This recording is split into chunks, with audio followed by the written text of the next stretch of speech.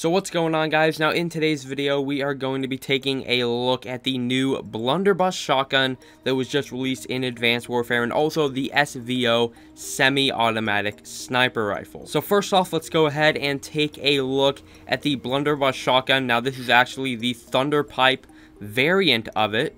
So let's go ahead and just take a good look at this thing. As you can tell right off the bat it is yellow and this thing, I have to say, looks absolutely amazing.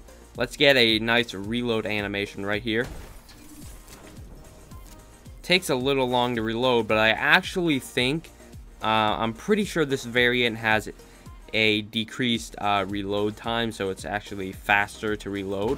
But just look at that reload animation. It looks absolutely amazing.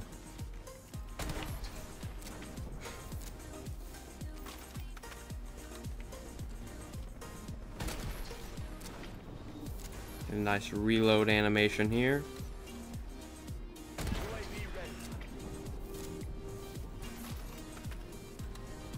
So here we go, guys. Let's just get one last look at the Blunderbuss Thunderpipe variant of this weapon. So here we go. One last look at it.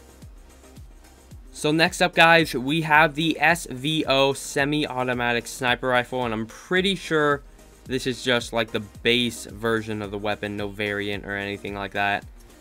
And pretty much there we go. Alright guys, so here we go. The SVO in first person, taking a look at this thing.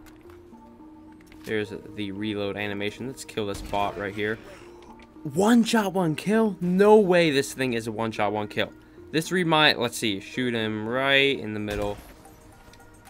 No freaking way. This thing seems like a freaking beast. This thing looks absolutely amazing. I'm pretty sure this was in Modern Warfare 3. I'm pretty sure it was. And it reminds me so much of Modern Warfare 3, which I'm pretty sure this gun was in. I absolutely love this.